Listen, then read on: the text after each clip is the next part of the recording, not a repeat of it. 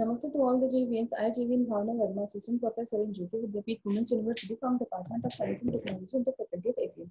So today we are going to discuss on our topic that is multimedia authoring tools. ठीक है तो multimedia authoring tools क्या होते हैं पहले वीडियो में मैंने आपको थोड़ा बहुत डिस्कशन वेरी ब्रीफ में थोड़ा बहुत एक्सप्लेन किया है हम इस टॉपिक को वापस देख लेते हैं कि मल्टीमीडिया ऑथरिंग टूल्स क्या एक ऐसा प्रोसेस है जिसकी मदद से आप क्या कर सकते हो बहुत जो अलग अलग मीडिया कंटेंट है चाहे ऑडियो टेक्स्ट हो इमेज हो ग्राफिक्स हो एनिमेशन इन सारे की सारी चीज़ों को आप कंबाइन कर सकते हो ठीक है?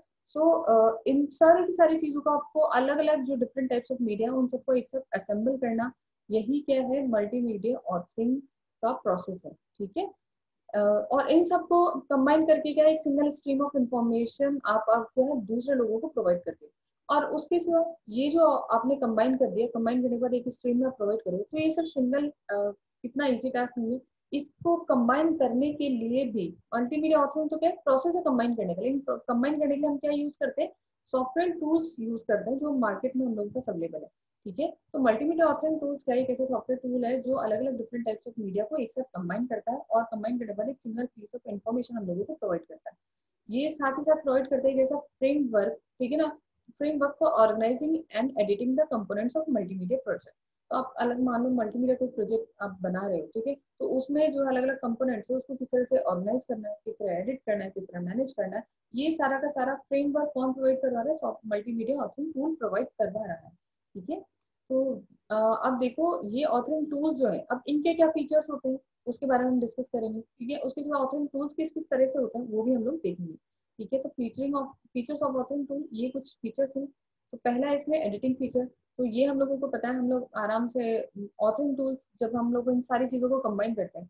भाई वीडियो सिर्फ़ है जिसमें ग्राफिक्स चल रहा है एनिमेशन चल रहा है साउंड के बिना वो अधूरा है ठीक है? टेक्स्ट जो है टेक्स्ट में साउंड के बिना अधूरा है।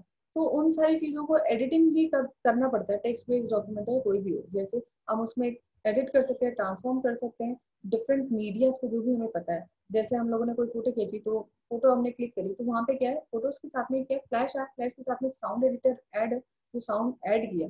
तो ये फीचर दोनों कंबाइन होकर एक बहुत अच्छा फीचर हम लोगों को प्रोवाइड करता है, ठीक है? Organising feature the organisation design production of multimedia involve navigation diagram on storyboarding and flow charting अब ऑर्गेनाइजिंग जैसे आप लोग मान लो आप कोई स्टोरी बता रहे हैं तो उस स्टोरी को क्या ऑर्गेनाइज करना ज़रूरी है। ठीक है ना? वो फ्लो चार्ट आप बता रहे हो कि पूरा ऊपर से लेके नीचे तक फ्लो चार्ट कुछ इस तरह चल रहा है तो वो पूरा ऑर्गेनाइजिंग फीचर है जो उसमें प्रोवाइड किया जा सकता है, ठीक है? इसकी मदद से हम क्या कर सकते हैं बहुत अच्छे हेल्पफुल डायग्राम्स है और कुछ लिंक्स है आराम से क्रिएट कर सकते हो, ताकि एक वेबसाइट जो बहुत अच्छे से दिखे और जो ये ऑर्गेनाइजिंग फीचर है, उसके अंदर यूज़ हो सके, ठीक है? नेक्स्ट हमारा visual programming with icons and objects अब हम लोगों को ये पता है कि जो आइकन्स और ऑब्जेक्ट्स जो आप किसी इमेज के ऊपर लगाते हैं, फिर उसमें क्या है एक आप सिस्टम देते हैं ताकि वो इनेबल हो, ठीक है? तो मान लीजिए जैसे आपने साउंड आपको करना है तो आपने एक बटन पे क्लिक किया साउंड आ गया, एक बटन पे क्लिक किया फ़ोटो क्लिक होगी तो ये क्या है, एक तरह से इमेज ऑब्जेक्ट और आइकॉन बेस्ड एक सर्विस आपको प्रोवाइड कर रहा है। फिर प्रोग्रामिंग विद स्क्रिप्टिंग लैंग्वेज अब देखो ऑथरिंग टूल्स की मदद से क्या है, हम स्क्रिप्ट राइट कर सकते हैं किसी सॉफ्टवेयर के लिए, ठीक है ना? इसके लिए with script you can perform computational task अब इस स्क्रिप्ट की मदद से आप कुछ कंप्यूटेशन टास्क भी परफॉर्म कर सकते हो। जैसे आपको कोई इनपुट देना है या किसी के ऊपर रिस्पॉन्ड करना है या कोई कैरेक्टर को क्रिएट करना है या एनिमेशन करना है तो प्रोग्रामिंग विथ स्क्रिप्टिंग लैंग्वेज तो एक, किसी स्क्रिप्टिंग लैंग्वेज की मदद से किसी किसी चीज़ की प्रोग्रामिंग भी आप कर सकते हो, ठीक है? अदर एप्लीकेशन भी लॉन्च कर सकते हो और एक्सटर्नल मीडिया डिवाइस को भी कंट्रोल कर सकते हो स्क्रिप्टिंग की मदद से। डॉक्यूमेंट डेवलपमेंट टूल अब जो हम लोग सिंपल डॉक्यूमेंट की बात करते हैं तो उस चीज़ का डेवलपमेंट भी क्या है, इसके ऑथरिंग टूल्स की मदद से हो सकता है। ये ऑफ़र क्या ऑफ़र करती है direct importing of preformatted text यहाँ पे क्या है, अब आपका कुछ, मान लीजिए आपके पास कोई सर्विस है, जो पेज है, उस पर कुछ पहले से प्री फॉर्मेटेड टूल्स हैं, आपके रखे हुए आप क्या कर सकते हो, उसको डायरेक्ट एक्सेस कर सकते हो। तो वो डॉक्यूमेंट को डेवलप करने के लिए आपके पास टूल रहता है, ठीक है? वहाँ पे आप क्या कर सकते मान लो कि आपके पास एक ऐसी जगह जहाँ पे आप आराम से है हाइपर लिंक दे सकते हो हाइपर दे सकते हो उन पर्टिकुलर टूल्स के लिए। इंटरेक्टिव इंटरेक्टिविटी फीचर ठीक है? This the end user to control the content and flow of information of the project अब मान लीजिए एक से लेके दूसरे एक्टिविटी के बीच में क्या प्रोसेस हो रहा है? कैसे इंटरएक्टिविटी चल रही है? तो एक इंफॉर्मेशन किस तरह से फ्लो कर रही है? इसके पर कंट्रोल रखने के लिए हम लोगों ने क्या है इंटरेक्टिव फीचर्स भी बताए हैं। ऑथिंग टूल्स में क्या है, एक एक से ज़्यादा लेवल्स ऑफ़ इंटरेक्टिविटी होता है। एक है आपका सिंपल ब्रांचिंग ठीक है? सिंपल ब्रांचिंग क्या है? Okay this simple simple branching क्या offers the ability to go to another section of the multimedia production मतलब आपको मल्टीमीडिया प्रोडक्शन में आपके पास एक कोई पर्टिकुलर सेक्शन एक जगह यूज़ करे, एक पर्टिकुलर सेक्शन एक जगह यूज़ करे। तो एक सेक्शन से दूसरी जगह सेक्शन में जा सको, इस तरह से क्या ब्रांचिंग कर सकते हो।